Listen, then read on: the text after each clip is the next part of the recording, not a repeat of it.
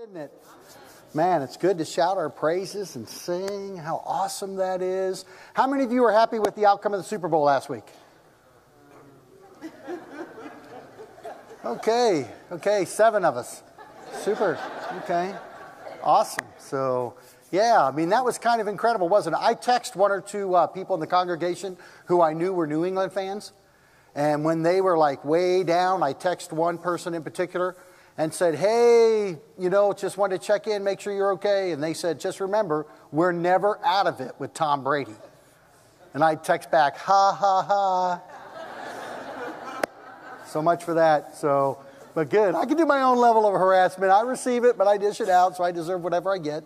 But uh, hey, two announcements real quick before we dive into our, uh, to our teaching this morning. Uh, the first announcement has to do with our building program. So right, you're aware that uh, right we've been we've announced probably two or three times we're right on the verge of breaking ground. We're right there, and uh, and so you know I would almost say that again. Like we are right there. Here's the current issue that uh, that's being negotiated between our building committee and the uh, and the township is uh, is that of a sprinkler system. So the township wants us to put a sprinkler system in all of our old facility.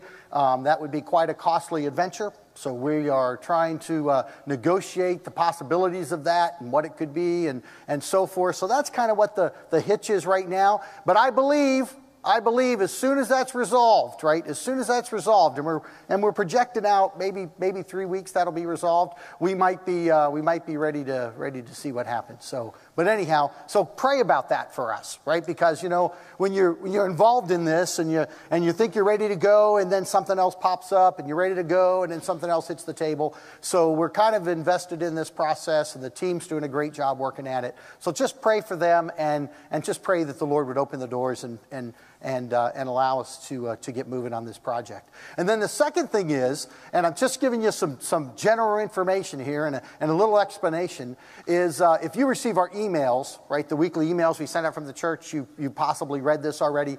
We are doing a media update up here on the platform. And if you're aware, you see two new projectors up there and two projectors like that will be put on the sides. And, and, and there's a reason that we're doing this, and that is uh, that um, we've been experiencing some system failures. So there was two Sundays in December that we almost did not have any of this because of system failure.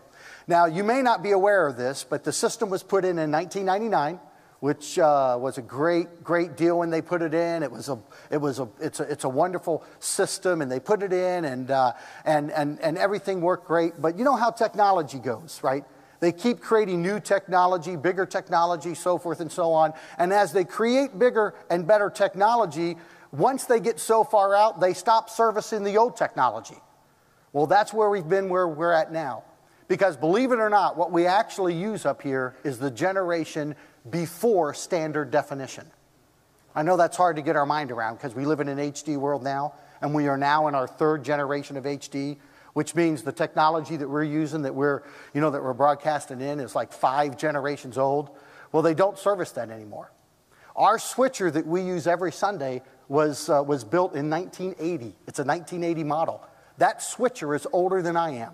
And so uh, you know Rumor has it Fred Flintstone used that switcher, but nevertheless. So, so anyhow, what the board had decided is, is we knew we were having some, we knew that there was a possibility of having big issues, and we've had them on and off and have been able to tape and spit and stick things together.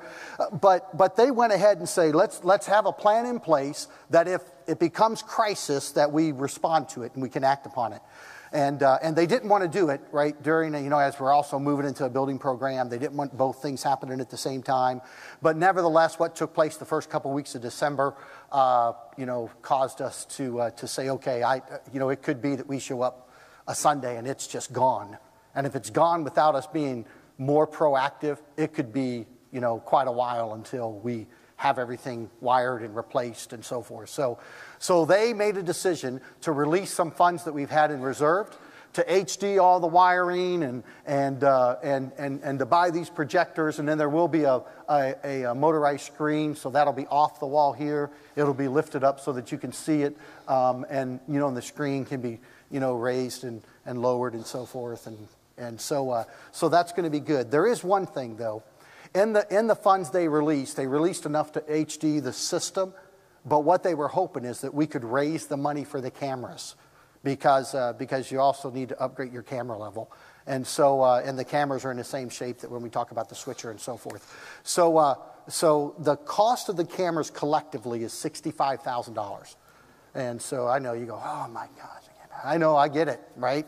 And, uh, and so, uh, so, if, so if you want to participate that and help us do that, um, that would be awesome. I mean, and that would, that would help us out. And I know uh, Jim's been working on it, and, uh, and he's already has several thousands of dollars raised. And, and so see him or email me or talk to me, and, and, and so we can have this uh, up and, and ready to go and, and make sure that we're, uh, we're doing an okay job. So, you know, it's kind of like when your car breaks down and your refrigerator breaks down at the same time.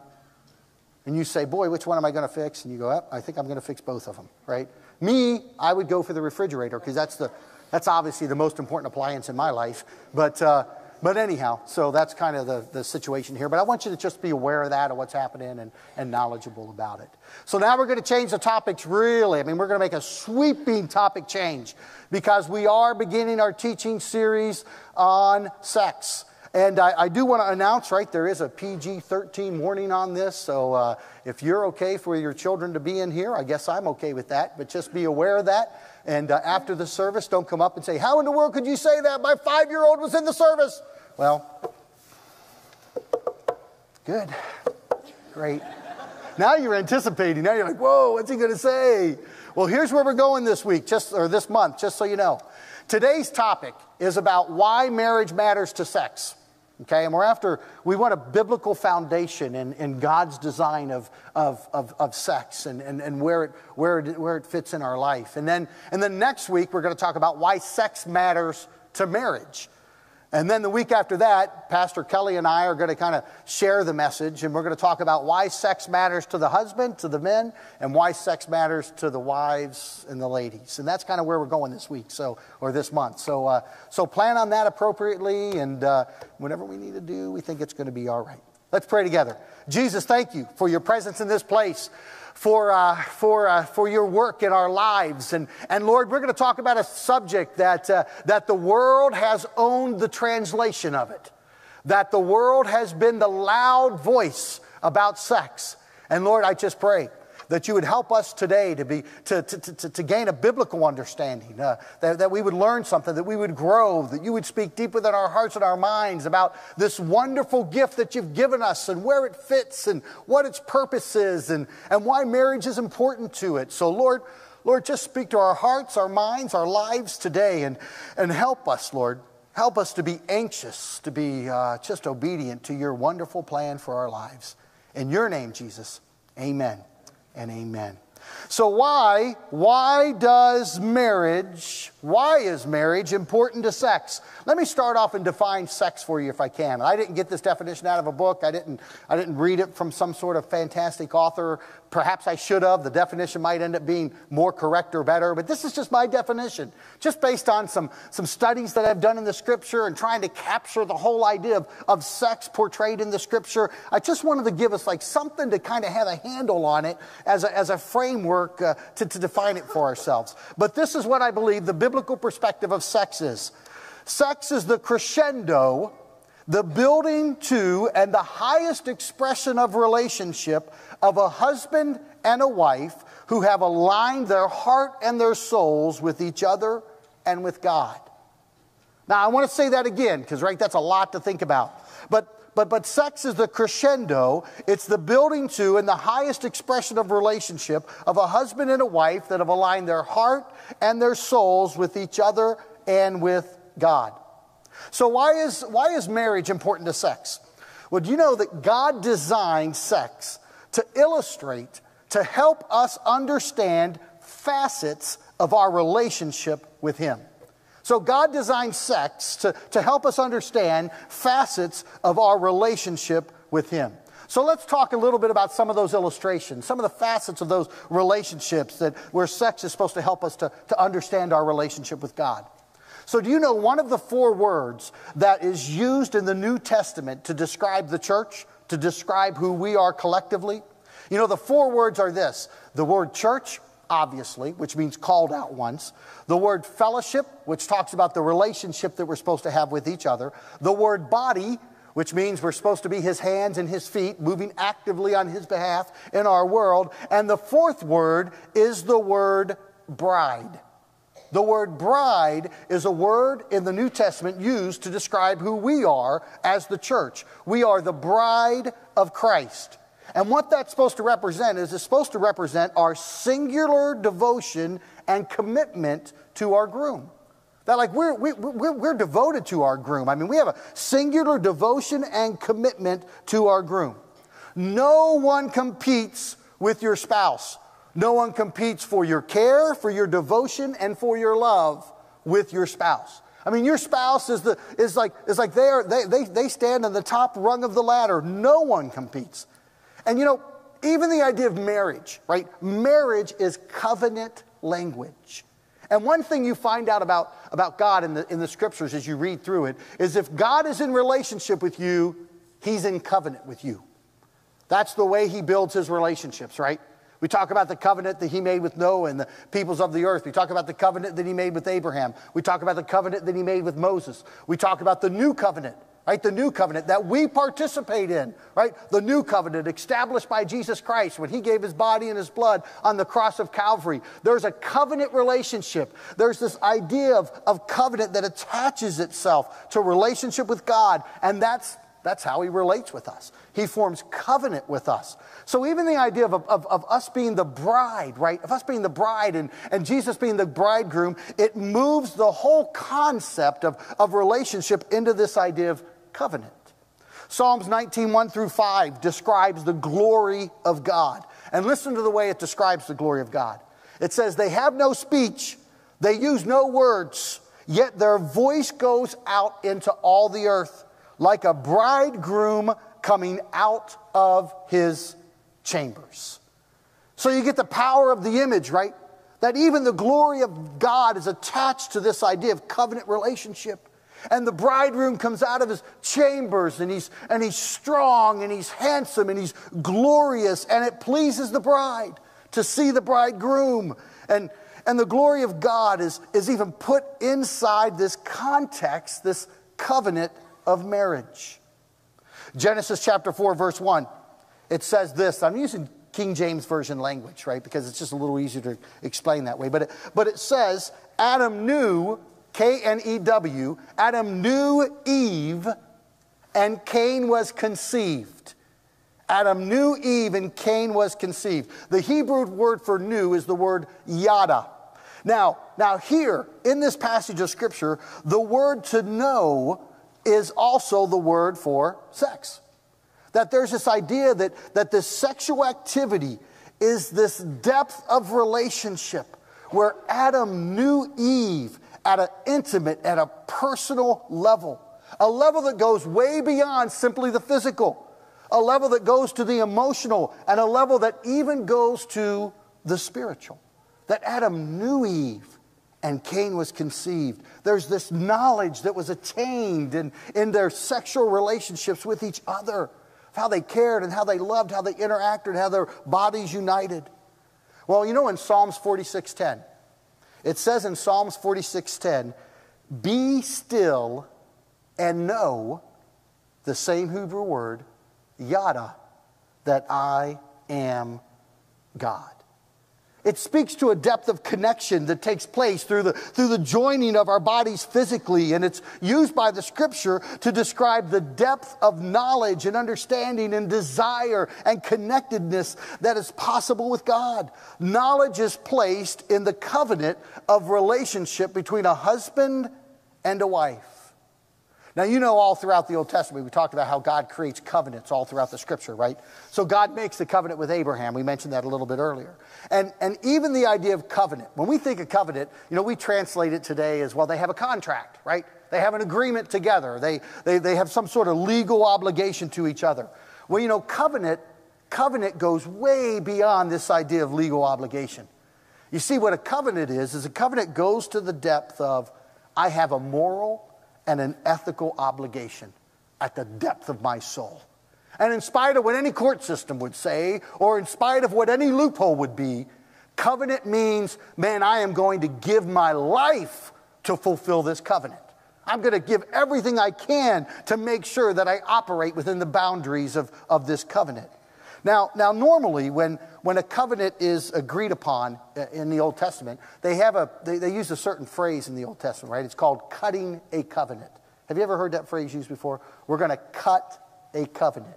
And let me tell you where that comes from, or the imagery of cutting a covenant. So, when, in Abram's case, when, when Abraham and God, when they had come to this agreement and covenant, here's the ceremony of cutting a covenant. God says to Abraham, I want you to line up all these animals, calves, bulls, whatever. We're going to line up all these animals, and I want you to split them right down the middle. Just cut them right down the middle. So one's on this side, the other's on this side, and there's a pathway in between these animals that literally have just been sawed in half and split. And then what happens in the covenant is there's, there's a suzerain who's the powerful one, and there's a vassal who's the weaker one. Now, when you cut a covenant, what normally happens in a, in a ceremony where you're cutting a covenant is the vassal, the weaker one, would walk in between those animals that's just been decimated. And the imagery is to say, if I don't fulfill my covenant to you, may what happens to, to me, if I don't fulfill it, may what happened to these animals happen to me. So, in this Abrahamic uh, uh, and God covenant cutting ceremony, what took place as Abram was there was he had a vision.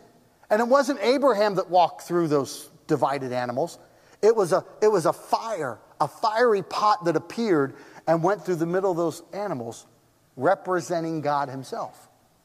So that God was saying this Abraham, if I don't fulfill my covenant to you, may what happened to these animals happen to me. And you know what the covenant was, right? You know what the covenant was between Abraham and God? God told Abraham, I will make you a great nation. I mean, you're going to have, you're going to have, have, have family that, that just is like the sand on a beach. You're, you're just going to, you're just going to fill it up. You're just going to fill the world up, your people are. Well, the, the role, the, the way in which that covenant had to be fulfilled Right? The only possibility for it to be fulfilled, the only way to fulfill that covenant was for a barren Abraham and Sarah to have a child. So the only way for, for God's covenant to be fulfilled to Abraham and to Sarah was through the act of sex. That they would be sexually active together, the joining of their bodies for the creation of life. And sex becomes the avenue for the fulfillment of covenant between God and Abraham. We can go on and on and on through the scriptures with illustrations of this, of, of, of how, how, how, how sex is, is, is built inside of this idea and the reality of covenant relationship. In, in fact, do you know sex is when a man and a woman sacrificially give their bodies to each other for the good and the pleasure of the other? Do you know what's supposed to happen to us when that takes place? It's supposed to remind us of the sacrifice that Jesus Christ himself gave when he gave up his body for our good. It's supposed to remind us of the new covenant, of the relationship that we have with God and how good it is for us as we sacrifice our bodies with our husband or with our wife. Do you know it's easy? It's easy to embrace the sacredness of sex the idea that sex itself is an act of worship when we understand how and why God created it. It becomes easier to, to understand the sacredness of sex when we understand why and how God created it. That it's, that it's an act of worship. It's supposed to draw us closer to Him. It's supposed to illustrate the possibilities of relationship with Him in all of its different facets. So, so why, is, why is marriage important to sex? Because sex is about more than simply the physical. I mean, God designed sex to teach us facets of relationship with Him. And marriage, marriage is the covenant that that relationship was designed to flourish within. Sex, the crescendo, the building to, and, and the highest uh, uh, expression of a husband and a wife that have aligned their heart and their souls with each other and with God. You know, another, another thought about this idea of why marriage is important to sex is that, is, that, uh, is that God created sex with real power. I mean, sex has real power. And that real power is just to show us the, the power that can take place in, in relationship with God. Like, like, like we understand, and we don't have to talk about it long, that, that there is a sex drive that goes to the very core of our physical design, right? That if we have a healthy body, a healthy functioning body, there is a, there is a drive towards sex in that body. There's an inner pull, there's a, there's a strong movement towards sexual activity. The power of sex is seen in its ability in the scriptures, and it tells us this, in its ability to take two separate individuals and make them one. That's power. In fact, it says this in 1 Corinthians 6:16, and I'm sure you're familiar with this. It says, "Do you not know that he who unites himself with a prostitute is one with her in body? For it is said, the two will become one flesh." God designed sex to be powerful. God designed sex to, to, to bring together and unite two people. He designed it so that sex would mingle not only the body, but that sex would mingle the, the emotions and that sex would mingle the, the, the souls. And soul mingling is designed to make a very real emotional and spiritual bond with only the one you're in covenant with. And that's powerful. It's powerful to think, man, the scripture says the two become one. That's incredible, you know, like fusionary power that God puts in the, in the act of sex. You know, the power of sex is also seen in that God chose sex to be the avenue in which He would create life. That sex is the avenue in which the creator of life creates life. I mean, we would agree here, hopefully, we would all agree that God is the creator of life and He's the, he's the single and, and only creator of life. And we understand, right, in Genesis, Genesis chapter 2, it says, God forms man from the dust of the ground and He breathed into his nostrils the breath of life, and man became a living being. And we understand that he created Eve, and, and we understand all of that. But we also understand that, that since that time, that he has chosen to breathe the breath of life through the act of sex. It's how he creates, has chosen to create life. It's his chosen design. And, and when we understand those things, when we understand the power to unite, when we understand the, the power of the drive, when we understand the, the power to create life, it becomes easy to embrace the divine power that God has weaved into sexual activity. It's easy to embrace that when we see how God has designed it. And, and power like that, right? Right? Power like that is an incredible gift that, that, that He gives us, but at the same time, power like that needs to be placed within covenant relationship. Do you know the divine qualities that God has infused into sexual activity is so strong the divine qualities that he's infused into sexual activity is so strong that sex itself often becomes the item or the activity that is actually worshiped. I mean, there's so much power that he's put within sexual activity that, that the world gets confused. They see the power of it and, they, and, and it actually becomes what people pursue rather than understanding that it illustrates something higher. I mean, they get confused about it, and that's what they seek after, and that's what drives them because of the power that, that God placed within sexual activity. So, for instance, as you read, as you read throughout the Old Testament, you see that one of the issues that often uh, has tripped up Israel is Baal worship, right? You, you've heard of Baal worship before if you read through the Old Testament. It's one of the things that, that often you know, trips Israel up, it, it pulls them away from God. Well, let me talk to you a few minutes about what Baal worship is. So, Baal worship is a sex driven religion, sex driven cultic activity. You see, the mindset of the people then, and we're talking about people thousands of years ago, right? The mindset of the people then were where they were agricultural, right? These, these folks that participated in Baal worship. And this is what they, they, they believed. They, they, they needed the ground to produce crops for their survival.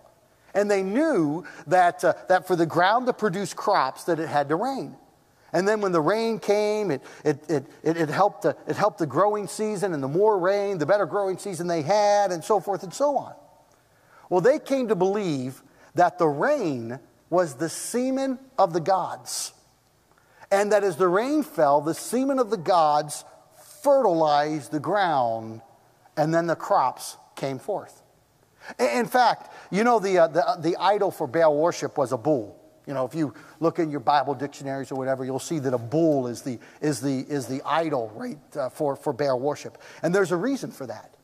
And the reason that they chose a, a, like, like, like a bull to be the idol for Baal worship is because of the bull's sexual activity. When a bull engaged in that sexual activity, right, I mean, man, they saw the strength and they saw the power of that beast and they saw the amount of semen that the bull produced. And in that, they were like, whoa, this is exactly what needs to happen so that our crops will grow. The gods need to drop their semen upon the ground so the crops will grow. And, and, and, and as you, so they began to like, like think about how do we do that? How do we manipulate the gods? How do we get this to take place?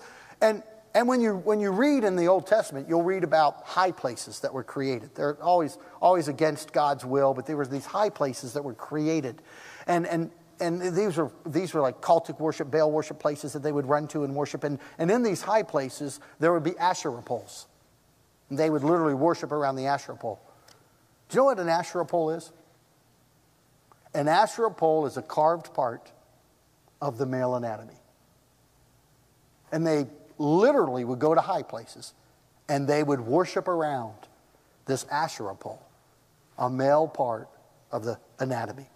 And they would worship around it, right? Believing that, hey, we're going to worship around this, and the, and the gods are going to bless us, and, and the crops will grow.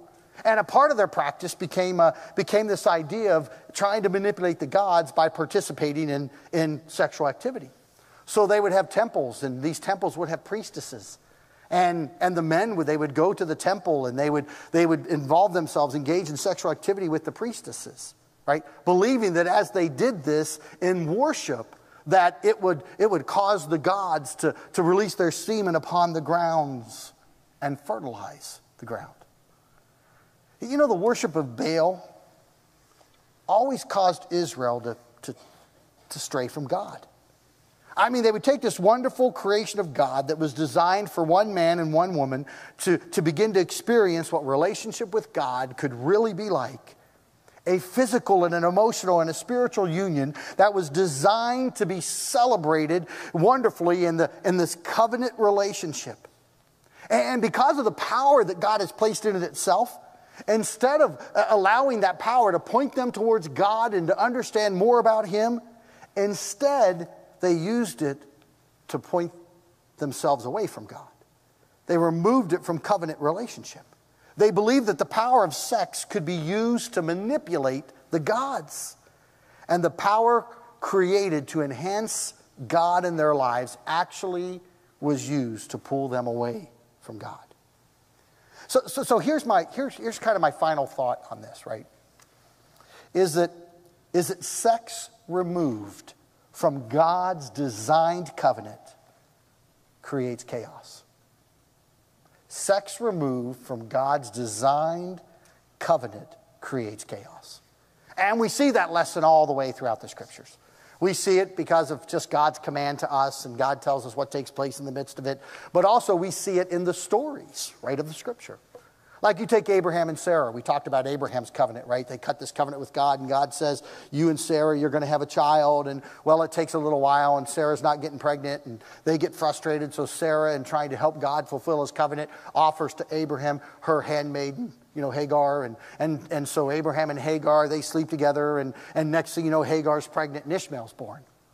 Well, that didn't fulfill God's covenant. That wasn't God's design or plan for them, right? They, they removed it outside of the, the God's plan of covenant relationship. And, and then what took place was, uh, was, was ultimately God's covenant was fulfilled and Sarah gave birth to Isaac. And then the tension and hostility between Sarah and Hagar became unbearable. And, and the tension of, of relationship between, between Ishmael and Isaac became unbearable.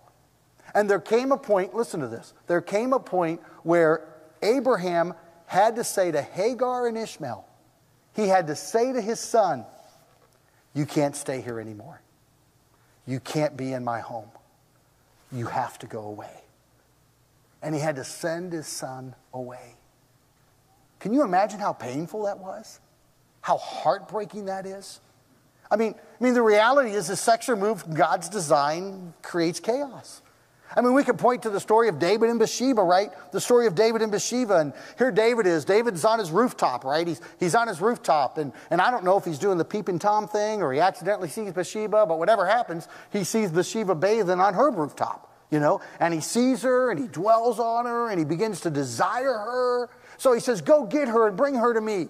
So she, she, she arrives, and, and David and her involve themselves in a relationship and in sexual activity. And, and what happens to the two of them, right? What happens to David is like his heart is drawn.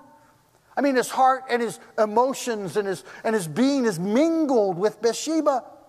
The only problem was Bathsheba was somebody else's wife. Bathsheba was the wife of, of Uriah, one of his most faithful generals.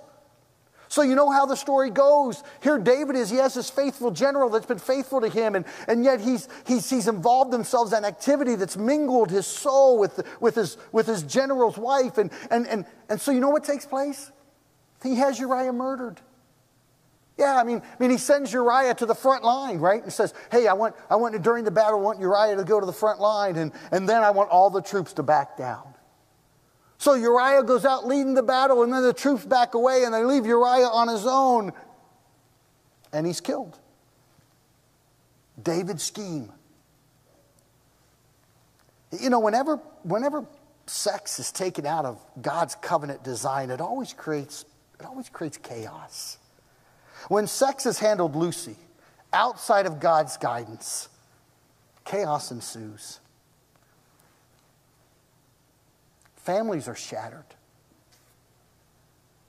Homes break apart.